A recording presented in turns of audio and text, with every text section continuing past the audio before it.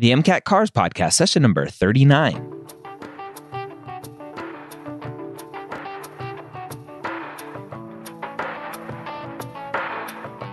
The car section of the MCAT gives thousands of pre-meds nightmares every night. Whether you're an ESL student, lack confidence while reading, or a slow reader like me, Jack Westin and the medical school headquarters are here to help you score higher in every section so you can be confident you're ready to get the MCAT score of your dreams. Uh, welcome to the MCAT Cars podcast. My name is Dr. Ryan Gray. And as always, I'm here today with Jack Westin from jackwestin.com to help you with your MCAT CARS score. And when you improve your MCAT CAR score with what we teach in this podcast, what Jack teaches in his course, you will improve every section of the MCAT. So this week, we are going over another great passage, going through it to really help you improve how you are going to break down your passages on the MCAT. Jack Westin, how you doing today? Good. How are you, Ryan? I'm good. I'm excited for another passage of reading and cars and breaking down. Last week we had a fun one about airplanes having my private pilot. That was fun for me to to uh, read and being involved and trying to stay up to date with what's going on with that Boeing trial and everything. Uh, this week's looks like another fun one. What do we have in store this week?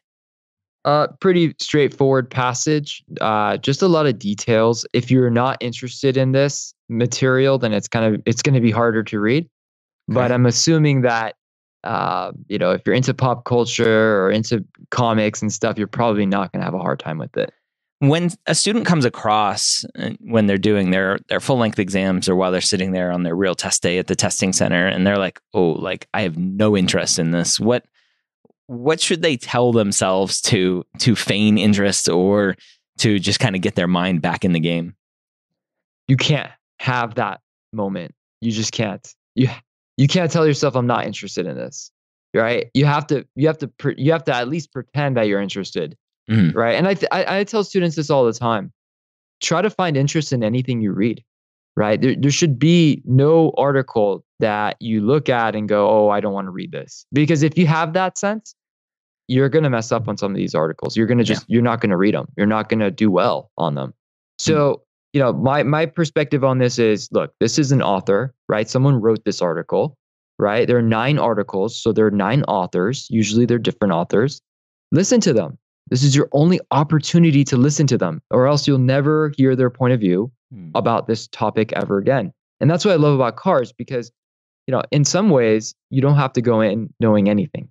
But in other ways, you have to go in embracing everything, right? So yeah. you don't have to come in with any knowledge, but you have to come in with this this this kind of attitude that hey, I'm going to accept whatever knowledge they give me and I'm going to listen to this, right? So it's it's very different than let's say your bio class where you're interested in, you know, understanding how the heart works, right? Or how I don't know, uh, mitosis and meiosis works, right?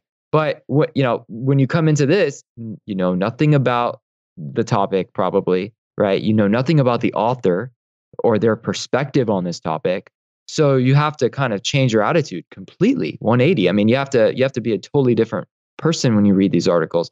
Hopefully, you don't have to be a totally different person. Hopefully, you as an individual like reading these things, mm. um, and that's what I find uh, with most students who do well. They're just willing to read it and understand it. They're listening to other people's perspectives. They don't zone out. And if you tend to zone out, that's not your problem. That just happens. So get back mm-hmm. into it. Right. But if you if you're telling yourself, oh yeah, this is hard. I don't want to read this. I don't want, you know, this is boring. I don't want to read this. You're You've you're lost. already messing up. Yeah. You know what I mean? You're not gonna like there are people there that are getting 130s, 131s who do not think that way who are going and going, oh, let me read about this, or oh, mm-hmm. let me read about that. Oh, that's interesting. So find interest in whatever you read. This is the only opportunity you have to read about this topic from this author. Why not listen to it? Yeah, I, I think that that negative self talk, whether you, you consider that negative or not, of oh, I'm not interested in this topic, or more of a negative would be, ooh, I'm I'm really bad at these types of passages or for ESL students as they're reading, like, I don't understand anything that's going on. I'm terrible at English. Um, all of that stuff is just taking up your processing power to to do well on the test. Confidence, confidence, and endurance. Right. Yeah. So have confidence in yourself. Uh, just because you're not an avid reader does not mean that you can't read these passages in, in a timely manner. Mhm. You can build that through practice. You have to have the endurance. So you have to build that endurance through practice, like you know anything else you do. And you can do. I think a lot of students go in thinking, "Oh yeah, well I can I can do this test. You know, I just have to take the test on the day of." That's not how it works. Yeah. it's it, it's a marathon. You you gotta you have to really prepare yourself, and um, you're not going to do that in one day or even one week. You got to do it over a couple of weeks, or you know maybe even a couple of months. So you know, prepare yourself. That's why they call this preparation, right? Test preparation. You have to prepare for this exam. And if you go in without that sense of, oh, I, I can get better, I can improve, um, and you think that you know inherently you'll never improve, you're you're bound to mess up. Yeah. Okay. Right. But yeah, so just find interest in what you're reading, embrace the fact that you're going to get better over time, and you know try to keep an open uh, a mind about what you're reading. You might learn something new. Like today, we're going to probably read something that you may not know anything about, or maybe you do know about the topic, but they're going to bring up an element about the topic that you may not have thought about before. Mm. So that's interesting.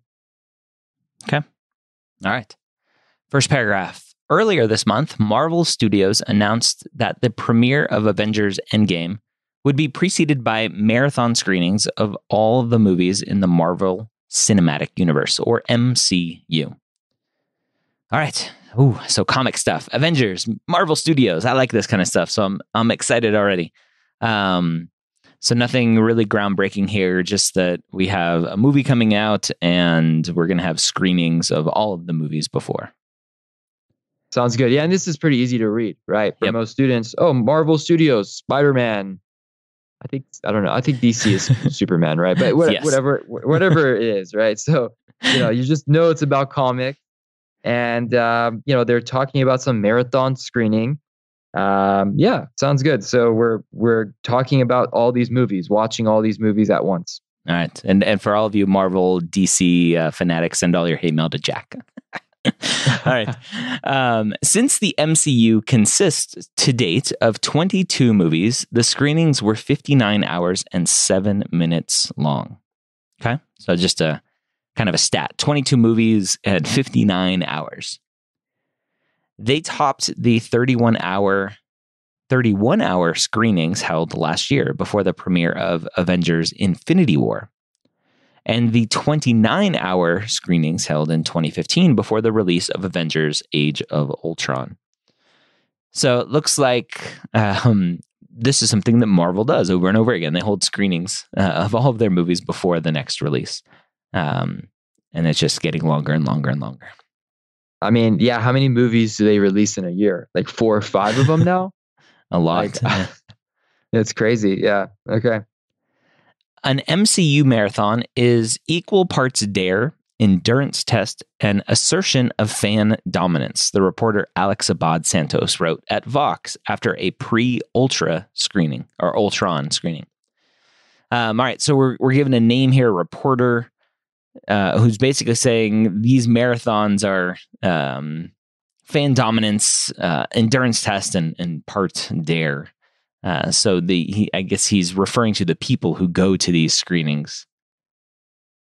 Right. I mean, it not only does it show how how long you can stay and watch movies all day, right? Endurance test, but it can also show the impact of these movies, right? The Mhm. fact that these movies are very popular and and and high achieving movies. Yeah. Alex McLevy, a writer and editor at the AV Club, described the event he attended as beyond anything I have ever experienced in a movie theater. It's beautiful and terrifying. um, all right, so another name, another writer, um, basically saying it's a it's beautiful and terrifying event. Right. Now a lot of students may read terrifying and go, "Wait a second, that's bad, terrifying." Right? It's not really said in a negative way, Mhm. right? It's terrifying in the fact that it's surprisingly amazing. You know, it's like surprisingly like like terrifying in the sense that like you can see how many people love these movies and you can see how you know m- many people are willing to stick around and watch these movies all day Mhm. right so that's that's what it means by saying it's terrifying it's not really scary or bad All right, next paragraph. When Iron Man came out in 2018, it was a standalone film. All right, so just an, another Marvel movie. Um, given a, a time frame here, 2018, so over a decade ago now. It's crazy.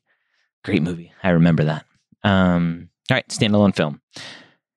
Moviegoers didn't know what it would kick off or moviegoers didn't know that it would kick off a titanic interconnected narrative that during the next decade would include aliens thrashing New York City, the Avengers, a space jailbreak, Guardians of the Galaxy, a Terminator style robot insurrection, Avengers Age of Ultron, a civil war, Captain America Civil War, and an apocalypse, Thor Ragnarok. All right, so then the, the author here is basically saying, hey, this this one movie when people saw it, they didn't know what was coming next, and then listed a bunch of examples here. Right. So when I'm reading this, I could care less about this stuff, right? Avengers, Captain America, but there are some students who love this stuff, right? Yep. So it's easy for them to pay attention and go, "Oh yeah, I remember Thor, I remember Avengers," and they they make sense out of it.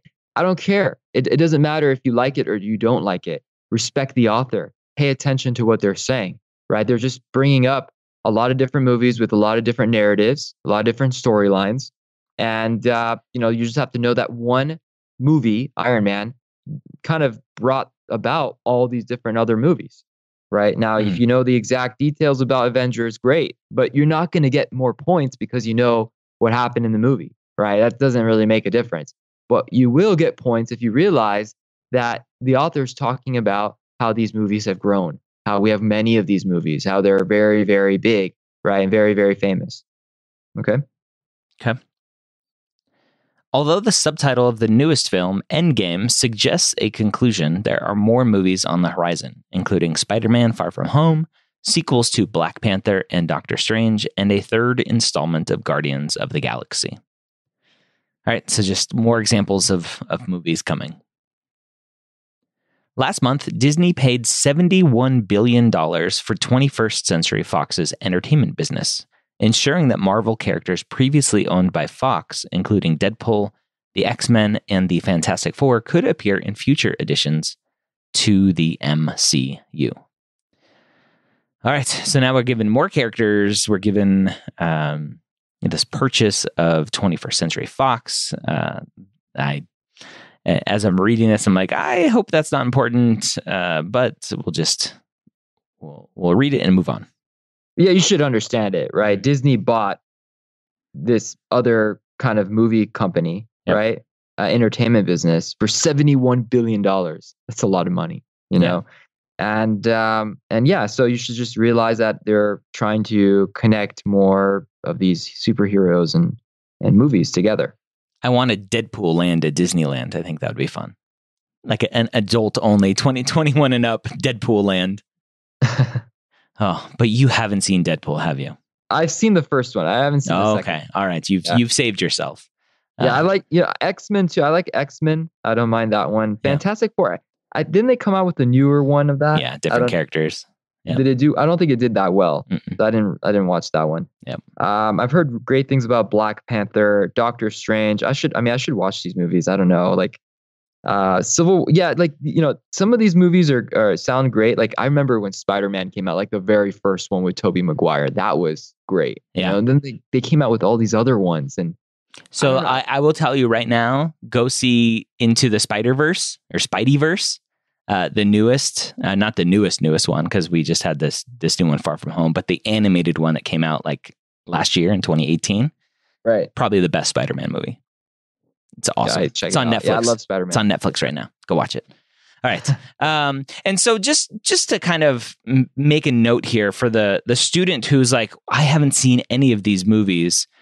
If examples like this come up in a passage, they they're not going to have to know anything other than what is being written, right? They're not going to go. The, the the the question isn't going to go well according to the plot of the Avengers blah blah blah right they don't have to know any of that No. stuff No, No, they're not going to ask about, oh, yeah, Guardians of the Galaxy. That was about a space jailbreak. No. But you should understand that a space jailbreak is a narrative, right? That they're talking about different kinds of stories within these movies, Mhm. different kinds of plots in these movies, and how there are so many different plots and so many different movies. That's what matters, not the actual specifics of the plot. Yeah.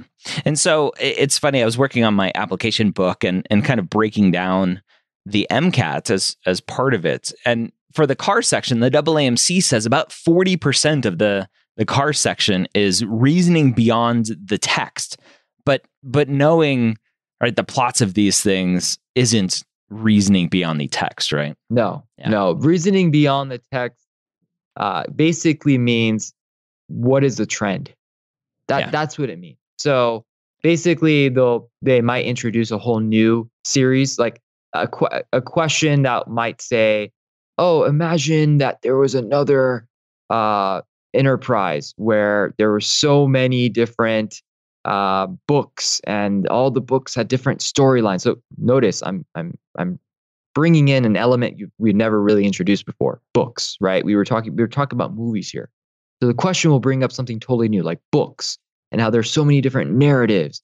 And then the author will and the question will say what can we what can we assume about these books? Or what can we suggest about these books? And what we can suggest is probably something along the lines of what we're talking about with the passage in the movies right so that's kind of reasoning beyond the text using what you're you found in the text for new scenarios new situations Okay. but not specifically knowing the details of of the of the actual text that you're reading that's not they don't care about that they're they're again focused on the bigger picture Okay. All right, next paragraph. Though some fans complain about substandard movies and ever lengthening runtimes, audiences remain invested in the MCU. Avengers Infinity War was the fourth highest grossing movie of all time, closely followed in the top 10 by The Avengers, Avengers Age of Ultron, and Black Panther. All right, so the author is saying, hey, some people are out there complaining, but the movies are still doing very well. Yeah, I mean, just notice that the author is saying there's some kind of complaints, but yes, exactly, they're still popular. Okay. It seems likely, in other words, that the MCU will continue to expand for the foreseeable future. so the author's basically saying, as long as the movies are making money, they're going to keep making them. Right. This raises questions both super heroic and narratological. Ooh. Um, I have no idea what those two words mean, but uh, we'll keep reading and hope, hope it's okay. Right. Go ahead. Will half of all the people on Earth who were snuffed out at the end of Infinity War, sorry, spoiler alert, ever be resurrected? Um, all right, so I guess the the narratological is is more like uh, what's what's happening in the movies, right? The questions, what's happening in the movies. So Yeah, and don't don't worry, you don't have to know exactly what happened at the end of these movies, right? But you should know that it's posing a question about its narrative, Mhm. right? What's going to happen in this in this story if you're going to keep making movies about it? Yeah. And can the MCU really keep expanding? Um, all right, so just more questions. How flexible is a story ultimately? Ooh, all right, so there's some rhetorical questions here by the author, really trying to dive in. If if they're going to keep making movies, can you really keep expanding? How flexible the stories if you need to change them, etc. Can it be extended indefinitely without becoming meaningless, or will it reach some natural limit? How infinite can a fictional world be? All right. So lots of questions that the author's bringing up uh, because basically these movies are doing well. It seems like they're going to keep being made, but how far can you go? Right. I mean that that like think about it. You know, like there's so many of these movies and so many of these stories.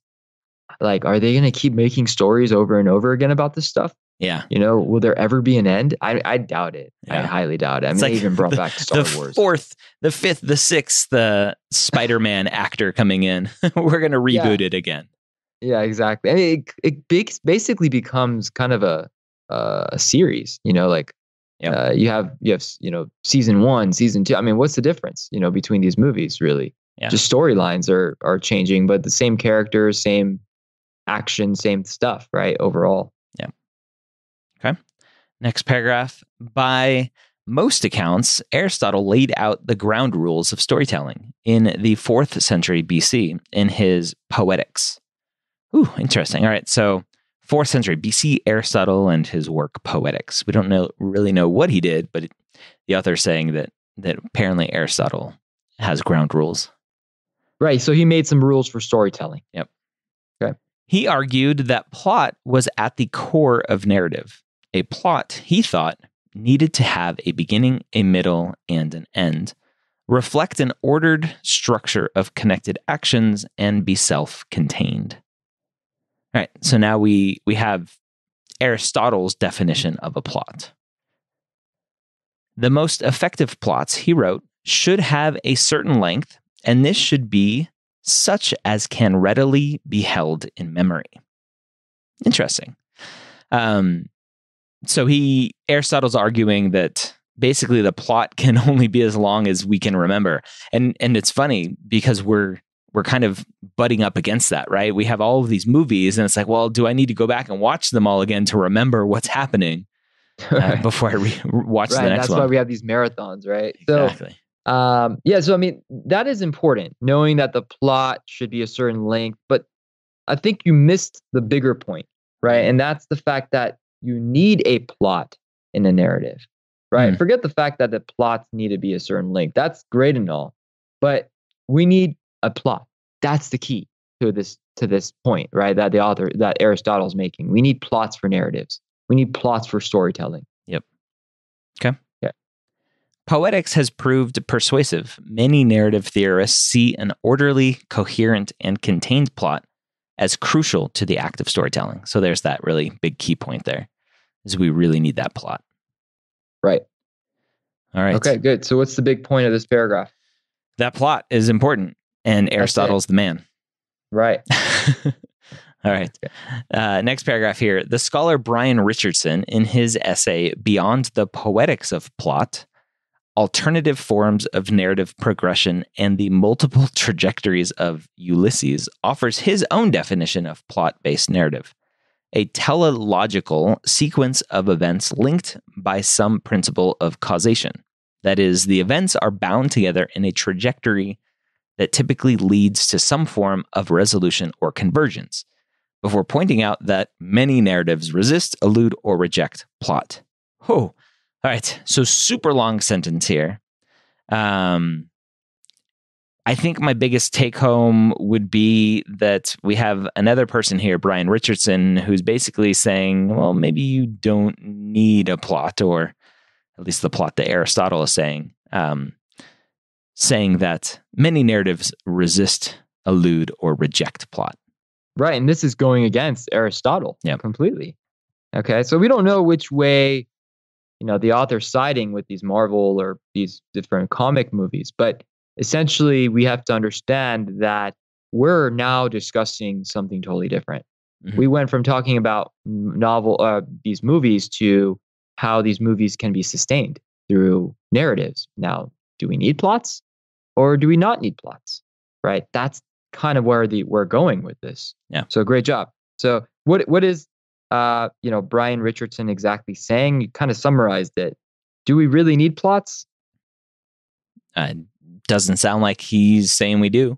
No, we need some kind of causation, Yeah. right? Some kind of sequence of events that lead to some kind of point, some kind of resolution or conversion. Some so it, it- there's so essentially we don't need we do not need a plot, right? We you know these they resist or reject the plot.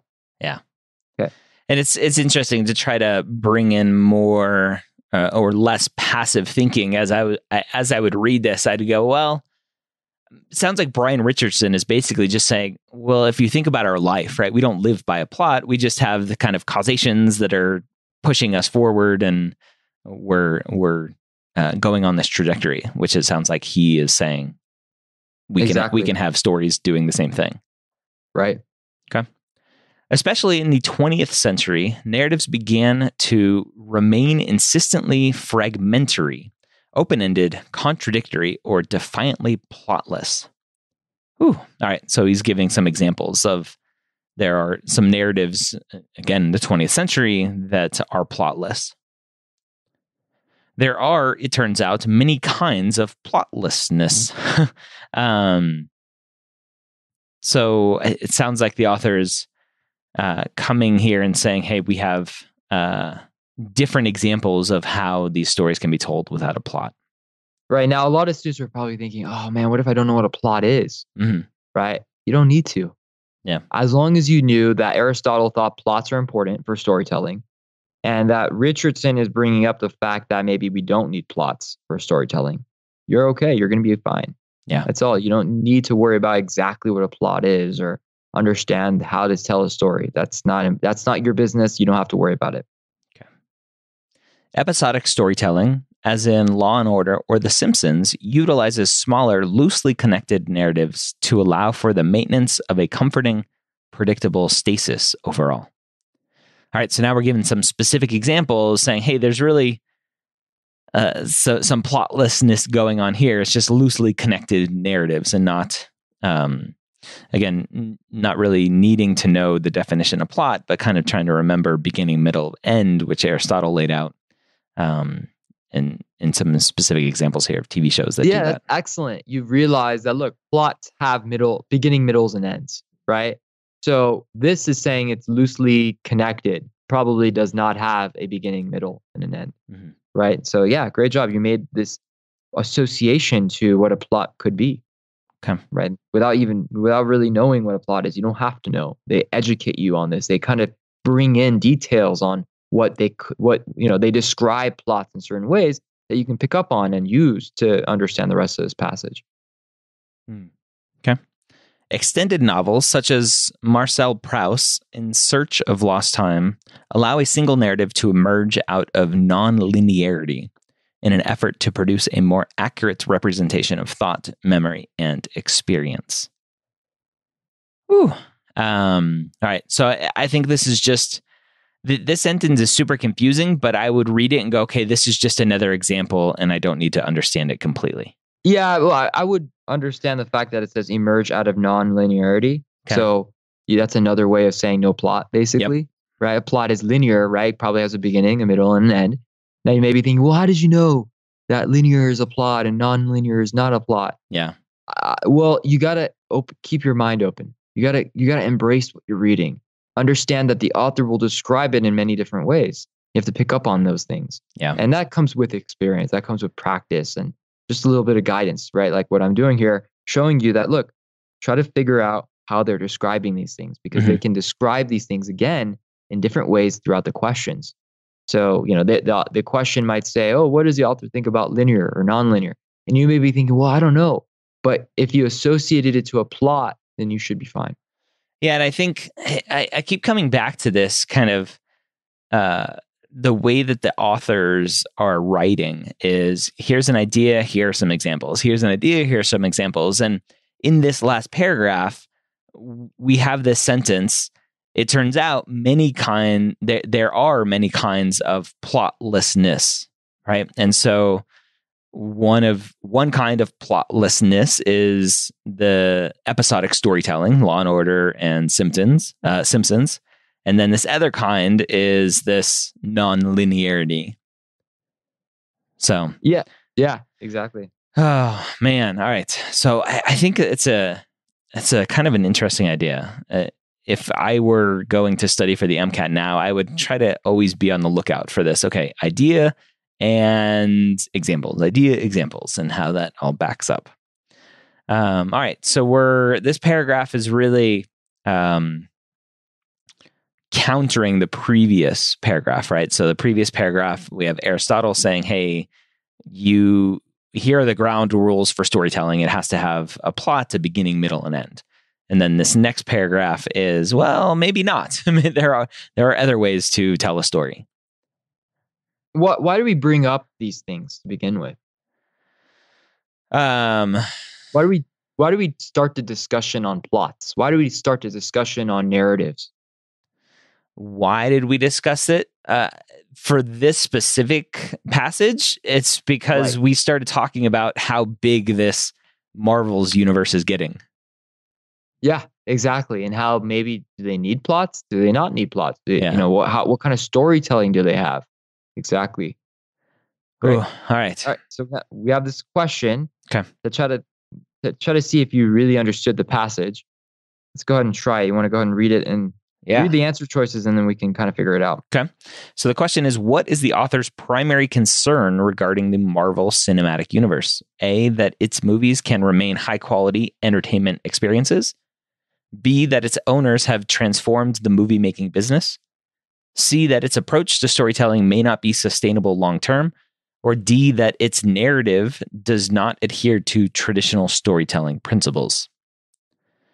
Um, all right. So the primary concern. So we'd have to think about that language um, because some of these answers um, fit kind of what's being said, right? If I were to go, um, right, be the owners have transformed the movie making business. Well, maybe right with so many movies uh, that that may be a fact, but it doesn't fit with the question of what's the primary concern. Um, Excellent. and so I, I would go potentially if we're thinking about really all of the questions in this third paragraph, right? I, I think that's where the author's concern starts to come out. How flexible is a story? Can it really keep expanding? Uh, can it be extended indefinitely without becoming meaningless? And so I I am drawn towards answer choice C that the approach to storytelling may not be sustainable long term as the concern. Yeah, I mean that's really it, right? The whole the whole point of this is, well, how can we tell these stories over and over again, right? How can we sustain these movies if if we're going to just keep bringing up new stories that kind of revolve around the same stuff? Yeah. So that is the concern, and that's exactly right. You brought up primary concern regarding the movies, and that is a concern that we have. So so let's kind of try to understand why A, B, and D are wrong. Yeah. And why why C is the best. So A, that its movies can remain high quality entertainment experiences. I mean, we kind of said that early on, but that's not a concern. Yeah. Right. That's not a concern. Are they going to remain high quality? What kind of quality are we talking about? Are we talking about the narrative quality, the action quality, the you know the the picture quality? Like what kind of quality? It's not specific enough for us. But let's go and read B. Uh, that its owners have transformed the movie making business. That's not we again, like you said, we didn't really bring up a concern about its owners transforming the movie, Mhm. right? The movie making business. Like it, it- we don't even discuss the movie making business. Yeah. If the author was like, this type of repeated uh, expanding blah blah blah is is ruining uh, movie going, right? Then it's like, oh, okay, maybe that would fit. Right. And I mean, also, B kind of suggests that the owners did something different to make the movie. Like, for instance, they only used one camera instead of 10 cameras, Mhm. or they edited the movie in a certain way. That would be a just, you know, a reason to pick B. But we don't really discuss that. The whole point of this is look, we have all these movies. How can we basically create more movies, more stories? Right. And then they go into discussing the different ways that stories can be told through plots and no plots. Yep. Uh, so C kind of fits that, right? Storytelling is not sustainable long term. Uh, students may be confused with D, that its narrative does not adhere to traditional storytelling principles. Mhm. Uh, we don't really uh, suggest that it got to be one way or another, right? Or one way, right? And not the other. It, it actually suggests both ways, right? It could have Mhm. plots or it can have no plots. So D is actually contradicting because D is suggesting that uh, you know it, it cannot adhere to traditional storytelling, but it has to adhere to non-traditional. It could adhere to traditional, right? Now we do know the movies are leaning towards non-traditional paths, right? Mhm. It says in the last paragraph that it's leaning towards or progressing towards this non-linear kind of no plot kind of way of of of, of things. But that does not mean that you can't have traditional storytelling principles. Yeah. So D in a way is out of scope. It's just not relevant. We don't like we talk about D, we talk about um story traditional storytelling principles, but we never suggest that the uh, this movie, this Marvel cinematic universe does not actually stick to those normal ways of, of doing stories. So mm-hmm. it, that's beyond the scope. It's also kind of contradicting because it's it's suggesting that it's only one way, and we don't really say it's only one way. We're, we're saying that you know they lean towards potentially nonlinear or no plots, but not necessarily always. That's some, not something we can always claim or suggest.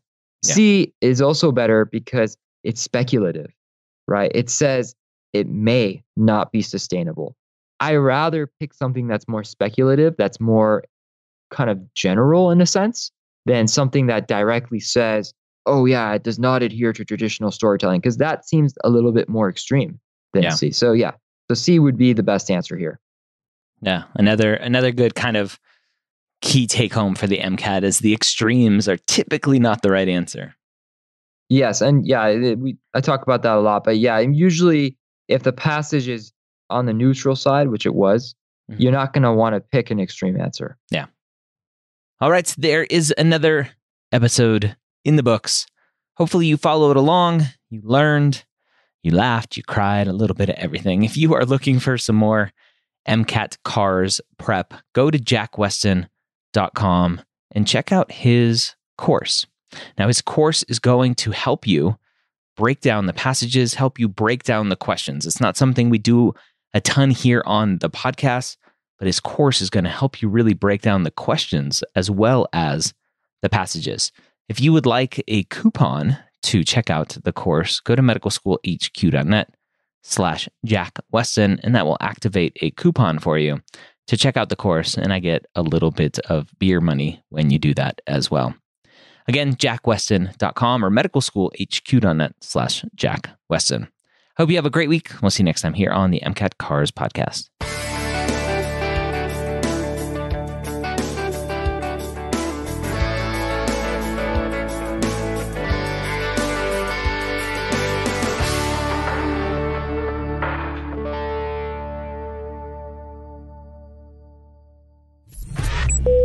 This is MedEd Media.